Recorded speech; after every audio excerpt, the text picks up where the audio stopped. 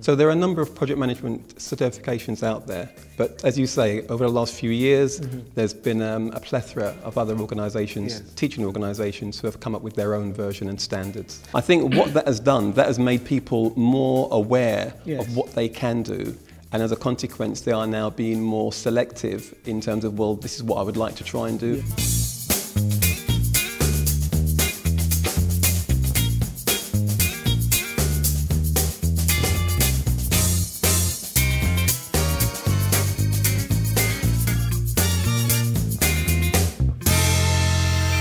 Ladies and gentlemen, welcome back to the Sylbourne Show. I've got Anthony Francis here, and of course, we're exploring about business and success. Anthony, welcome back. Thank you. Well, I'm glad you didn't go off and do some course. um, tell us about um, project management essentials for non-project managers.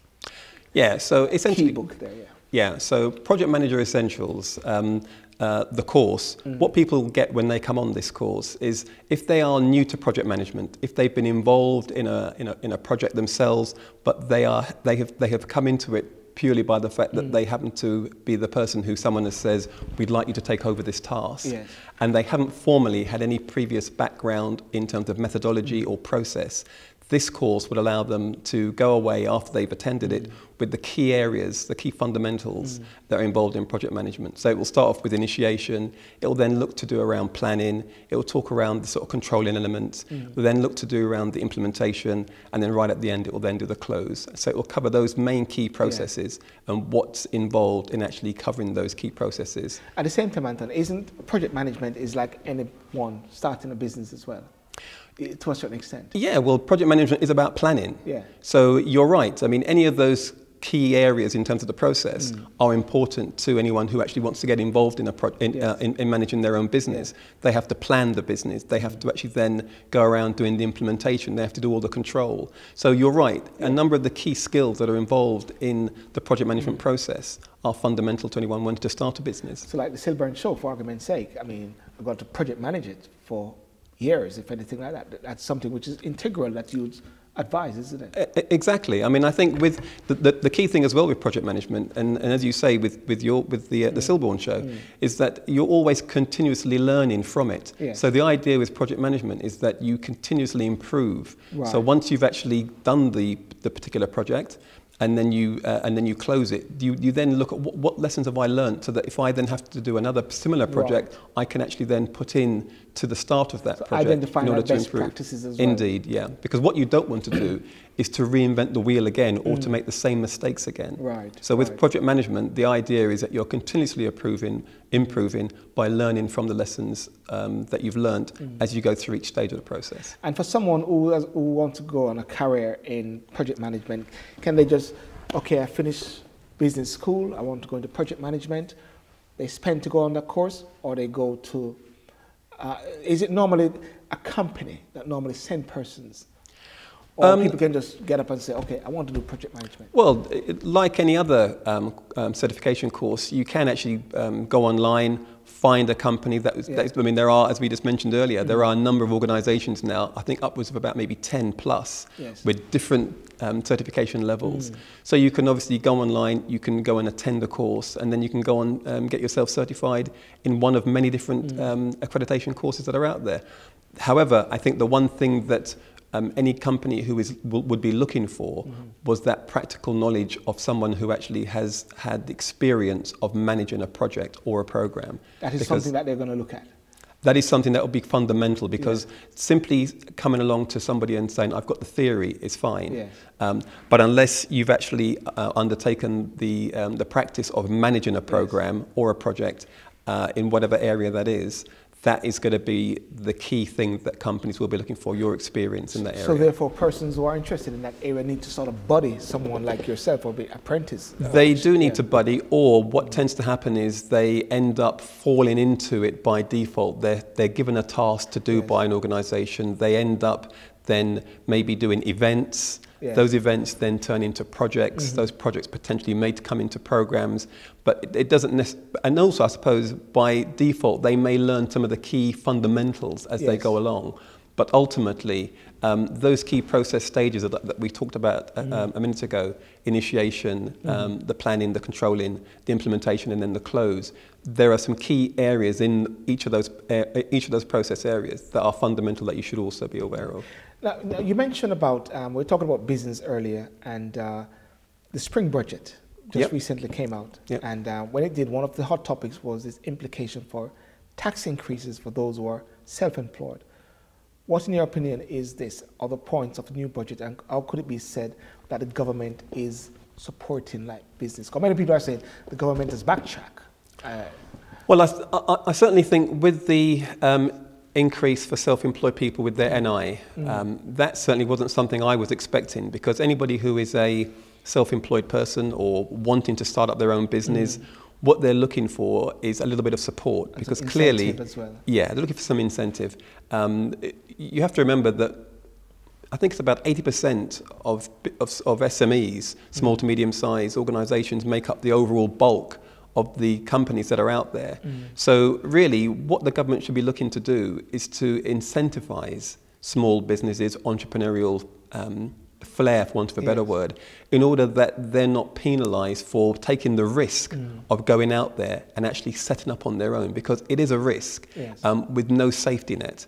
So, unless perhaps you've you know, you, you come from maybe a, a well-to-do well family, family yeah. where you've got some support mechanism ultimately what someone is doing, they're actually thinking, right, I've got an opportunity, I've seen a gap in the marketplace, mm. and I'm going to actually um, turn that opportunity into a business. Right. So for them to do that, they need to be given some incentive. And I think what the government have done in the budget by increasing NI as an mm. example doesn't show that they are not necessarily on the side of business, mm. but it shows that they are um, not incentivizing somebody to go into business because of that extra um, amount they'd have to pay on their So it'd be very unwise for them to call an election now, isn't it? Well, so going to. I, I, I think um, I think the government have got enough on their plate, but certainly that would be another yes. area that, especially yes. in their manifesto, they said they would not do it. And, that, and, that, and that's uh, on a political level. That, that's another thing. Uh, people are saying that once they deviate away from their manifesto, which is two strikes now. When I say two strikes, one, they went into government with another leader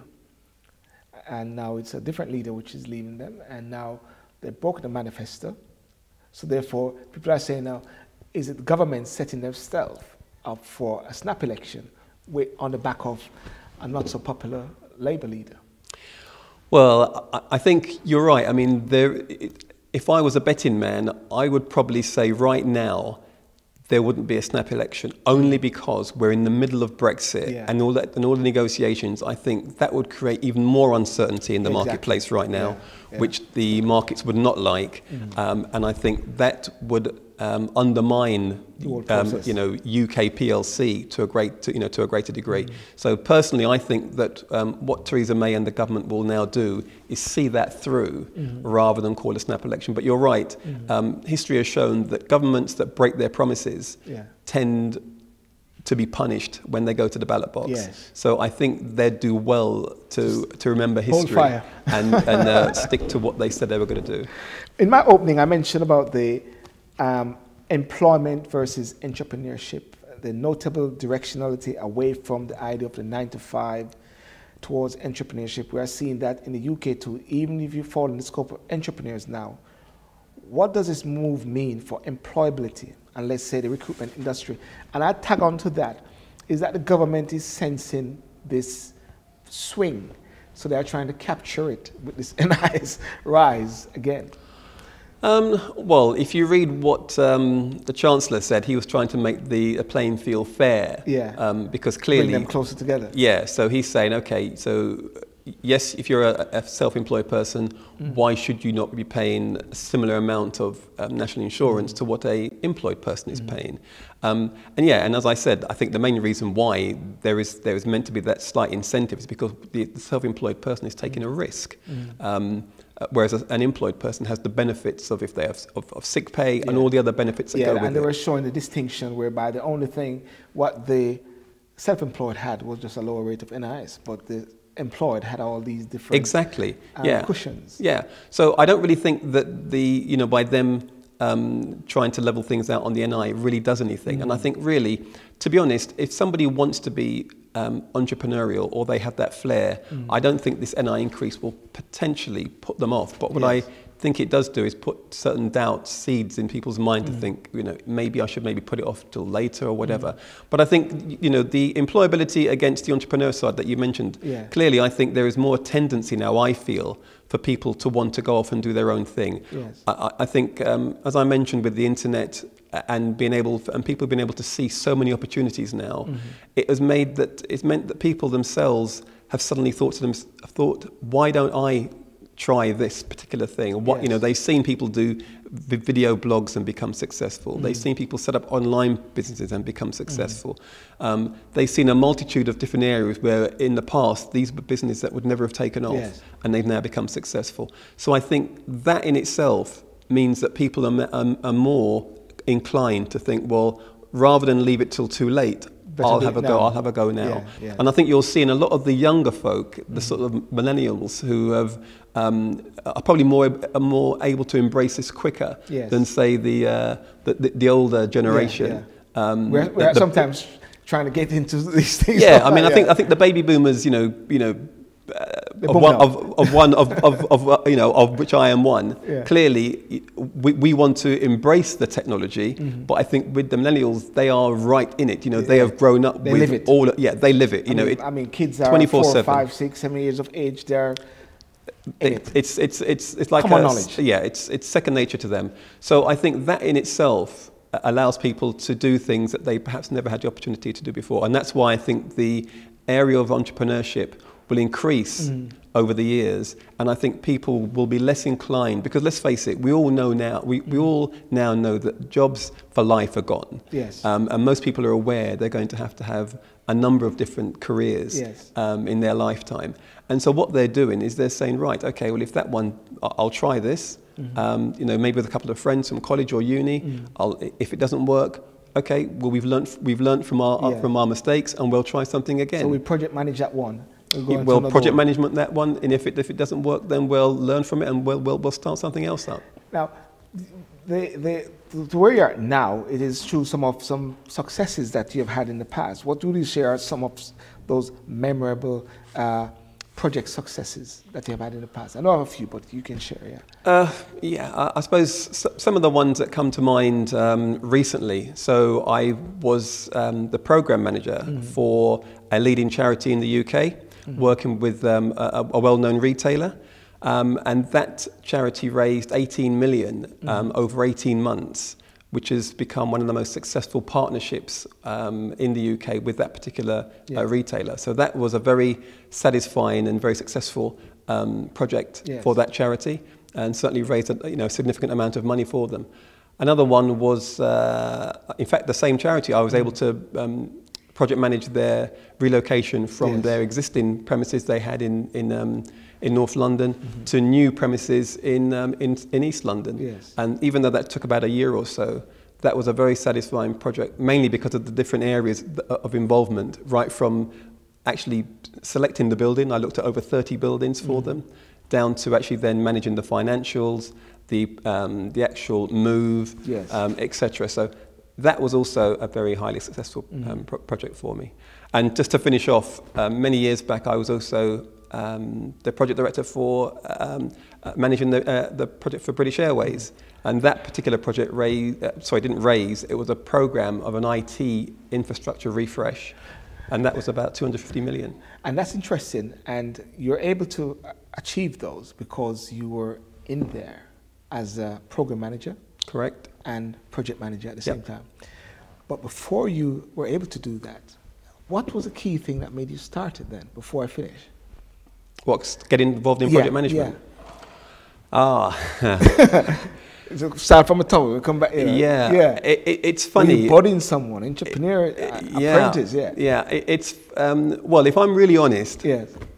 I, what, I was in operations, I was an operations Yeah. manager, Mm. and I saw an opening for a project director role, Mm. uh, and I applied for that role.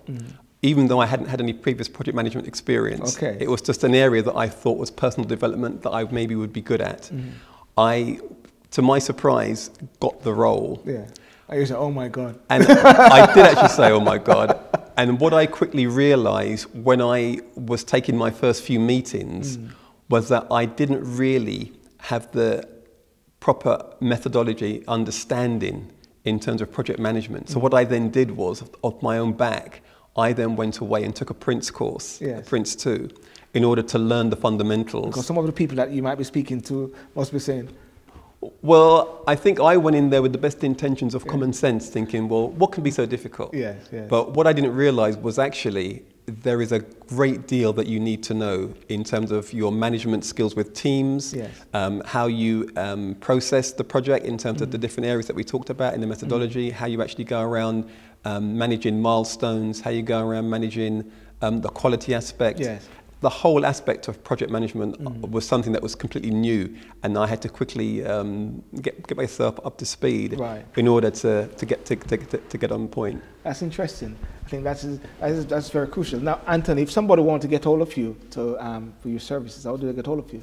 Well, they can um, uh, get me via my website, Yes. um, projectmanageressentials.com. Yes. Uh, they can also um, send me uh, uh, an email, Yes. uh, which is um, info at anthony at projectmanageressentials.com, or they can call me. Yeah. And ladies and gentlemen, of course, we'll put Anthony's details on the on our Facebook page, not on Facebook page, on our website as well with his profile, so people can also find you as well once you come on the show. You know. And before we go, Anthony, what would you say is your favorite mantra or favorite quote, or something that inspires you? Um, Um, I would say, well, especially as I'm a project manager, Mm. that um, people don't uh, plan to fail, Mm. uh, but they fail to plan. right. And I think that's the thing that, you know, in life and also in, as, as a mantra for me, when we go, when we go ahead to do something, we don't go there to fail. Mm-hmm. Fail. Um, but what we haven't done is we haven't actually planned how we're going to get there. Right. And so if you don't have a plan of how you're going to get there, Yeah. how, are you, how are you going to know once you've reached? And what road you're going on, you won't know Exactly. you're going. So I think that's something that people should um, always be mindful of. That we don't um, plan to fail, uh, we fail to plan. Fantastic. Ladies and gentlemen, Anthony, that was great. Any last word? Um, www.projectmanageressentials.com. That's it. Anthony, listen, it was great having you on the show. Thank you for having me. Awesome. Cheers. Ladies and gentlemen, you have heard. And uh, what I'd like to share with you is that businesses these days are changing. Everything is now changing. There's an evolutionary process going on, and we just have to move with the times as well. So, without further ado, thank you so much for watching the show. And to hear more about Anthony Francis, follow us on our website, sylbourne.com, on Facebook, Twitter, Instagram with the hashtag SylbourneTV. Thank you so much for joining us, and see you next time. Hi, my name's Anthony Francis, and I've just been on the Sylbourne TV. Uh, I'd like uh, you to subscribe uh, either via their hashtag, their website, or their Instagram. Hi, thanks for watching our video. If you like what you see, please subscribe to my YouTube channel and share and like, and don't forget to comment, but first subscribe.